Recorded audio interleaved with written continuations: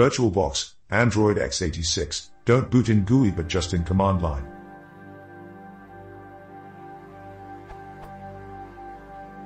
I followed a lot of different tutorials to install Android underscore x86 on VirtualBox. Actually I want to install Android on a virtual machine, so if you have alternatives, I'm interested.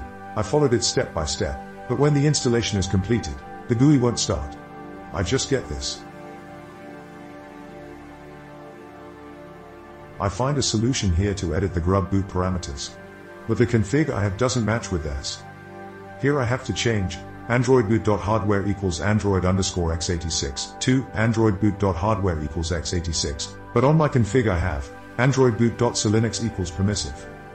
The ISO I downloaded is Android x86 underscore 64 to 8.101.ISO. From here the version of VirtualBox is 6.0.2 or 128162, Qt5.6.3. If anybody can help me, thank in advance. D.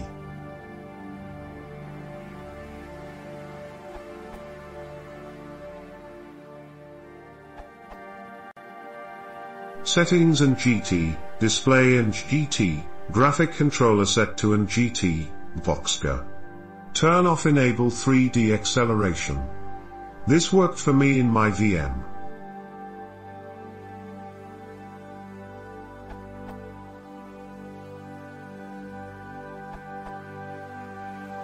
I managed to solve my problem.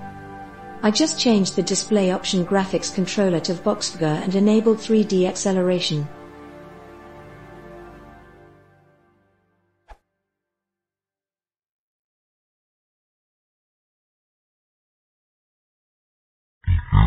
If you want to support this please consider